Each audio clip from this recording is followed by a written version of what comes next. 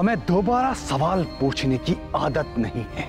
इसलिए तुमसे सिर्फ़ एक बार सवाल पूछेंगे। ये अंगूठी तुम्हें किसने दी? कौन है वो शख्स जो बार बार हमारा लगान लूट रहे हैं? आप हर महीने लगान और जजिया रवाना होने की रात को कहाँ गायब हो जाते?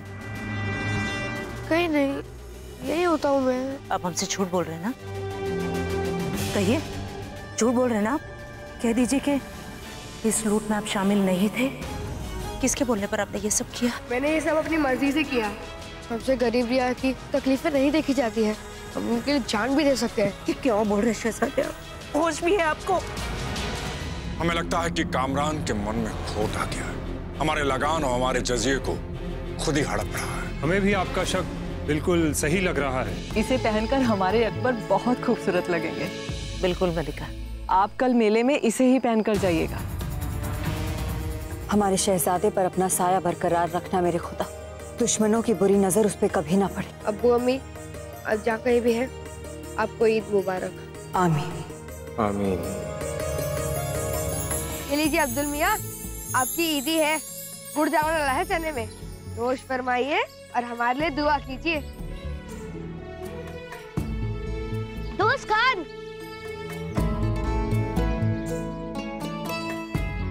तुम लोग यहाँ क्या कर रहे हो? क्या कर रहे हो? ईद के मेले में नहीं जाना क्या? जल्दी करो। नहीं हुजूर ने बोला है पूरा दिन घोड़ों की मालिश करनी है और उन्हें नहलाना है। आज के दिन भी काम? ये क्या बा, बात हुई? तुम लोग जाओ मैं नहीं आ रहा। अरे अकबर जल्दी आ जाइए दरबार में।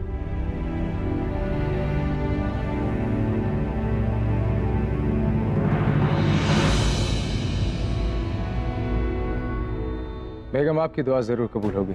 इंशाल्लाह हमारे शहजादे सही सलामत होंगे और और एक दिन हमारे साथ होंगे।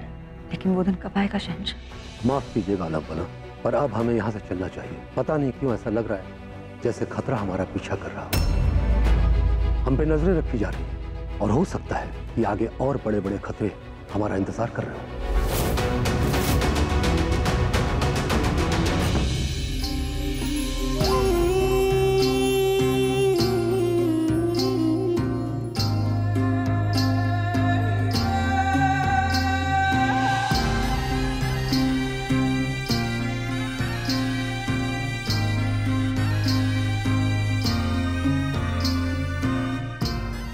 हुजूर का मर्तबा आसमान से भी ऊँचा हो। अल्लाह शहजादे को नूर से रोशन करे।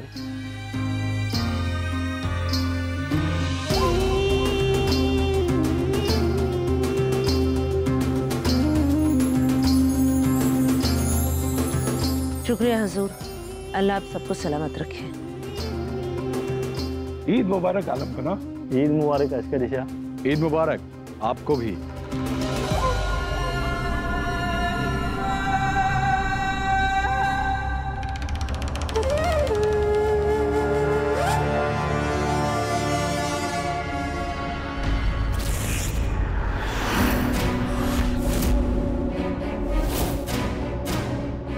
बिल्कुल सही जगह पहुँचे हो तुम।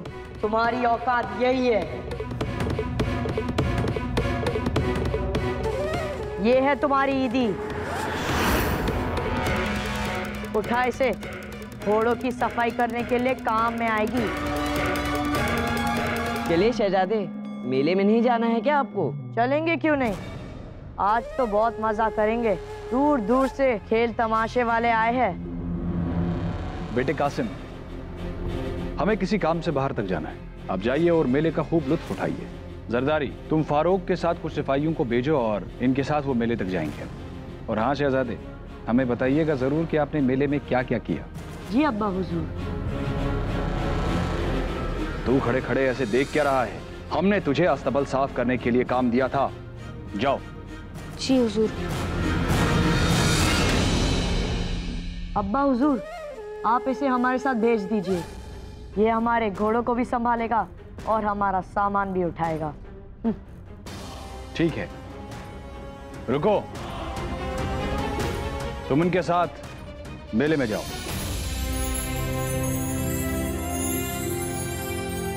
हम अभी तैयार होके आते हैं।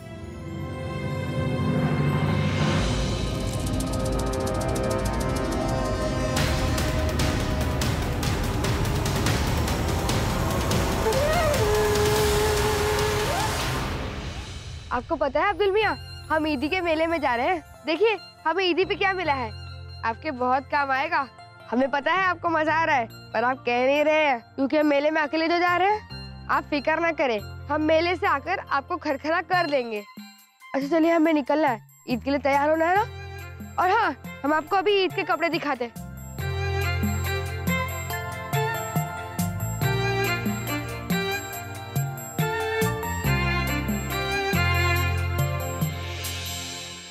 देखिए अब्दुल मियाँ, हमारे ईद के कपड़े, हमें चाची जान ने दिए, खूबसूरत है ना? हमारे दोस्त इसे देखकर हैरान हो जाएँगे। अच्छा ठीक है, हम चलते हैं। ईद के लिए तैयार हो रहे हैं।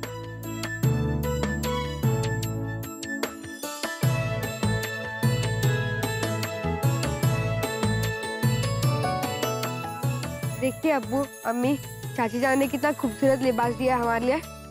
आपको पता है, अभी हम ईद के मेले में जा रहे हैं।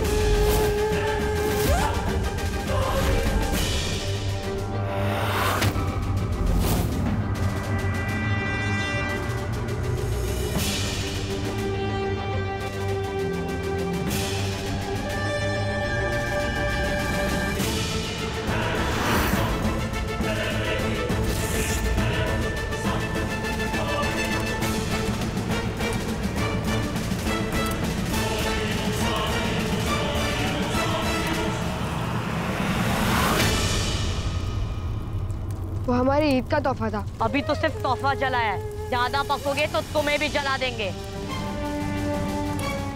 देख क्या रहे तुझे तेरी औकात बता रहे हैं हम। बड़ा है नए कपड़े पहनने वाला। भूल गया? तू कौन है? तू हमारा गुलाम है गुलाम। तो गुलामों की तरह रहना सीख वरना तेरी आँख जला देंगे। समझा भगोड़े की औलाद? ईद के मेले में तफरी करवाने नहीं ले जा रहे हैं तुझे। शहजादे की खिदमत में ले जा रहे हैं। चल, काम कर अपना। सही कहा तुमने आदम आज मेले में बहुत मज़ा आएगा। और तू क्या खड़ा है? जा, तैयार हो। हमें देरी हो रही है।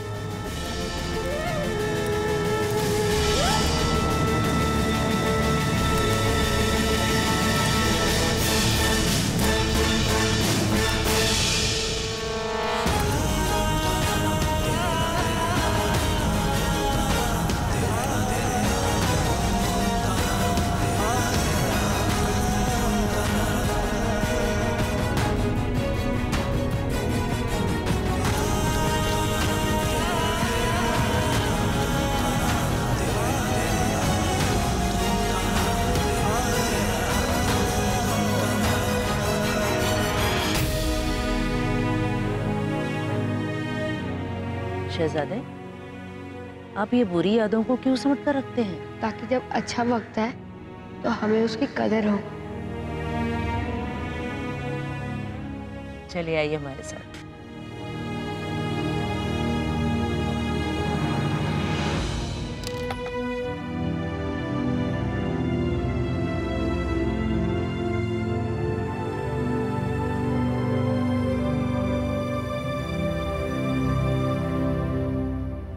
लीजिए दो जितर। इससे मेले में कुछ खा लीजिएगा और अपने लिए खरीद लीजिएगा। नहीं अंगामी जान अगर हुजूर को पता चल गया तो वो हमारे साथ आपको भी कोड़े पड़वाएँगे। हमें कुछ नहीं होगा। आप मज़े से मेले में जाएँ। ये जितल हमने आपकी ईदी के लिए ही बचा कर रखा था। लीजिए। हम आपकी अम्मी है ना? आप हमारी अम्मी हैं। इसीलिए तो हम नहीं चाहते कि हमारे वजह से आपको कुछ हो। और ये हमें कभी बर्दाश्त नहीं। आपकी अम्मी को कोई तकलीफ़ हो ये आपको अच्छा नहीं लगेगा। आपकी तकलीफ़ हमसे बर्दाश्त नहीं होती। अगर आप मेला देखने नहीं गए तो आपकी अंगा अम्मी को कैसे अच्छा लगेगा? आज ईद है और बड़ों से मिली हुई ईदी को इनकार नहीं करते। लीजिए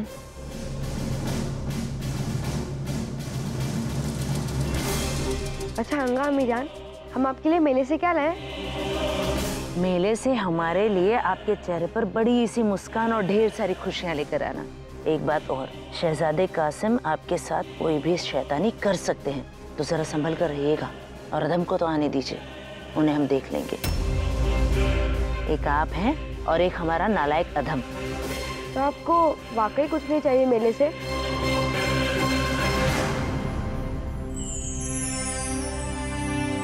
अच्छा हम चलते हैं अंगामी जान संभल कर जाइए।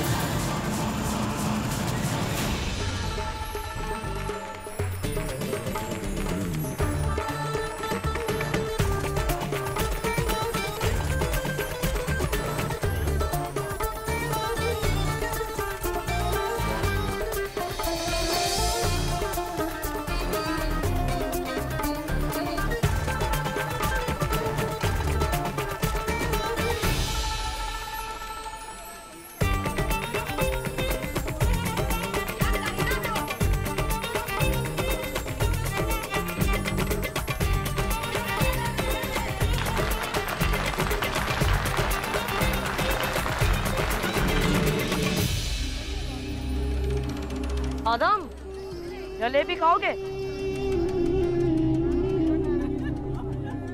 नेकी और पूछ पूछ चला दे चलिए।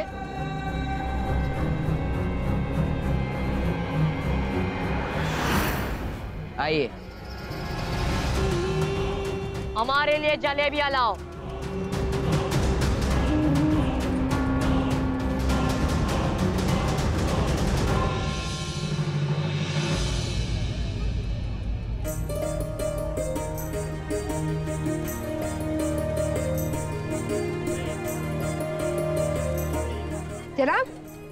टोपी का क्या दाम है? ये एक जितल और इसका? आधा जितल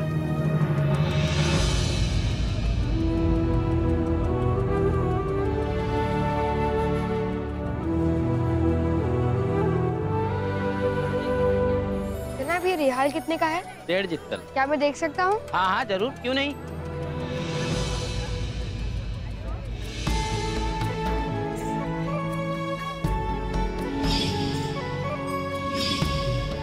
मोती चूर के लड्डू ले लो। एक जीतल में। तरमाल है। मोती चूर के लड्डू ले लो।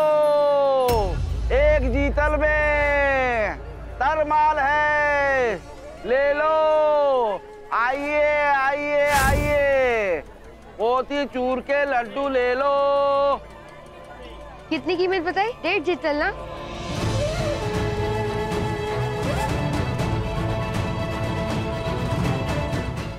दीजिए।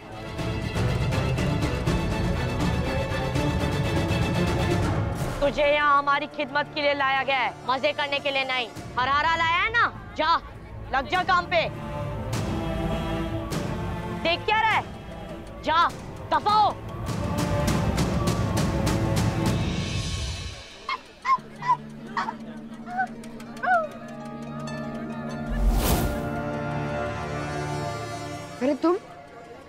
दोस्त बड़ी मुसीबत आ गई है। पर तुम सब इतना घबराए हुए क्यों? हो अच्छा हो तुम मिल गए दोस्त खान। तुम्हारी एक मदद चाहिए। करीम के अम्मी और अबू बहुत मुश्किल में है। पर बात क्या है ये बताओ। करीम के अब्बा के पास लगान में देने के लिए डमड़ी नहीं थे। इसलिए कमरान मिर्ज़ा के आदमी उन्हें पकड़ ले गए। अब वो उसके अम्मी अब्बा को मेले में गुलाम की तरफ़ नीलाम कराने वाले हैं। दोस्त बेचारे मेरे अब्बू किसी तुम्हारे अब्बू को कुछ नहीं होगा मैं कुछ करता हूँ। लेकिन तुम क्या करोगे?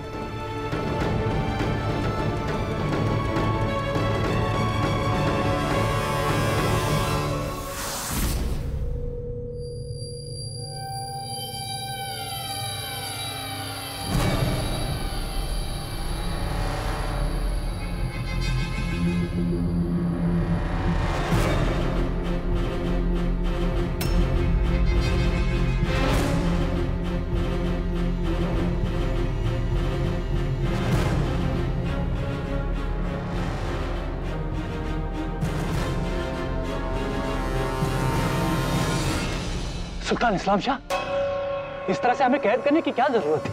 आप हमें हुक्म भेजते, हम आ जाते आपके पास खुद ही।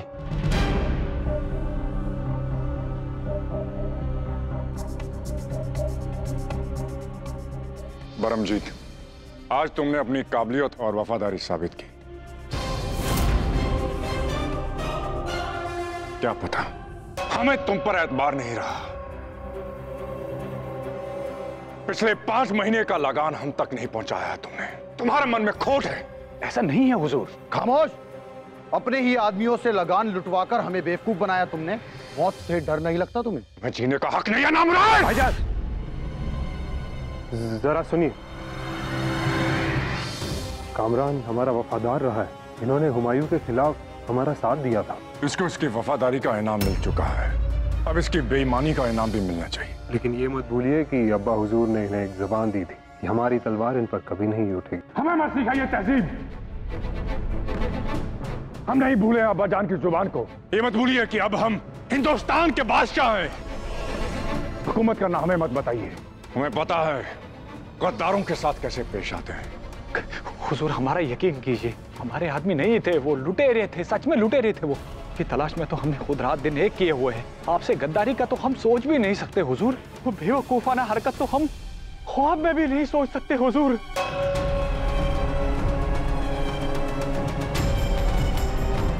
चलो मान लिया कि तुम्हारी नीयत में कोई खोट नहीं है, लेकिन हमें तुम्हारी काबिलियत पर शक है।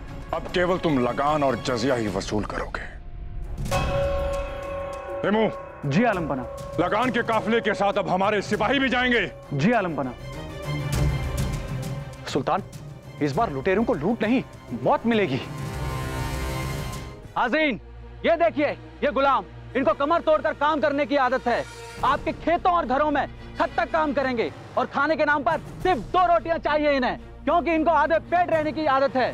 इन लोगों ने सुल्तान मिर्ज़ा का लगा नहीं चुकाया है इसलिए बेचे जा रहे हैं। आप लोग इन्हें खरीद कर उनकी नज़र इनायत का हकदार बन जाइए। इसलिए आइए बोली लगाइए।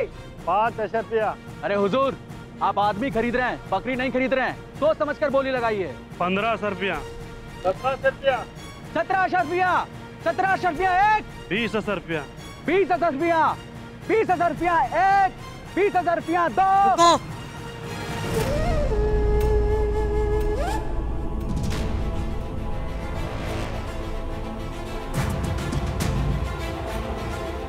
दूर कासिम, आइए आइए तशरीफ़ रखिए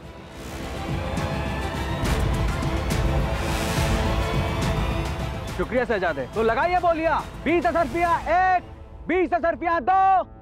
रुको।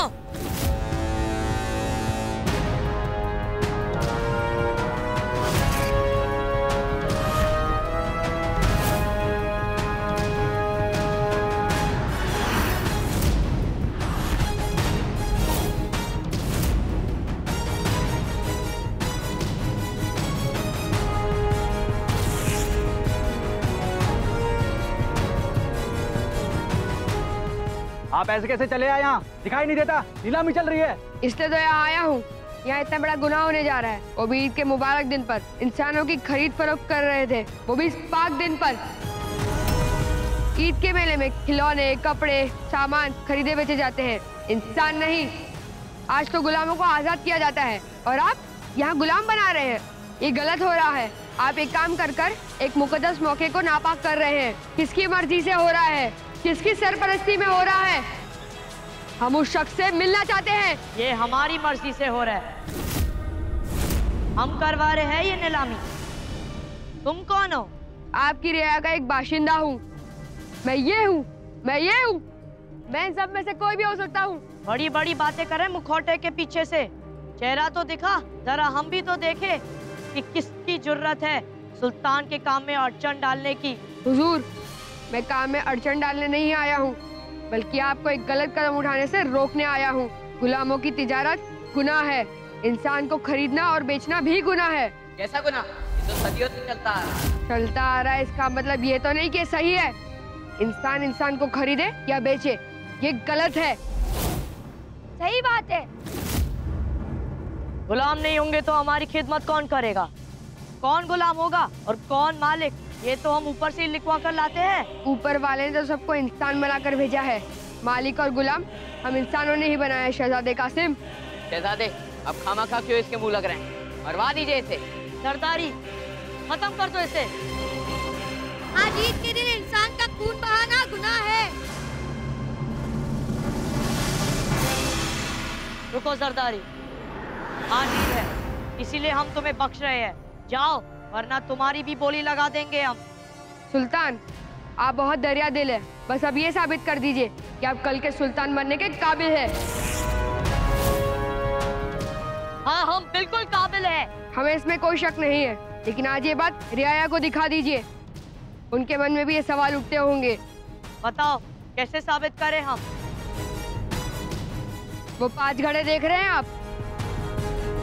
अगर आप एक निशाने से पाँचों को एक साथ फोड़ देते हैं। तो सारी रियाया को यकीन हो जाएगा कि आप कल के सुल्तान बनने के काबिल है। और मैं अपनी जबान काट के आपको दे दूँगा। तेरी जबान कट जाएगी तो अच्छा रहेगा। लेकिन हुजूर खुदा ना खास्ता आप ये काम ना कर पाए और ये काम हमने कर दिखाया। तो आपको इन गुलामों को आज़ाद करना होगा। शहजादे कासिम ये ज़रूर कोई चाल चल रहा है। बचिएगा मत। चाल कैसी? सारी रियाया के सामने होगा मुकाबला। हमारे शहजादे पीछे नहीं हटने वाले। मेरी बात मानिए शहजादे। ये ज़रूर कोई चाल चल रहा है। बस बचिएगा मत।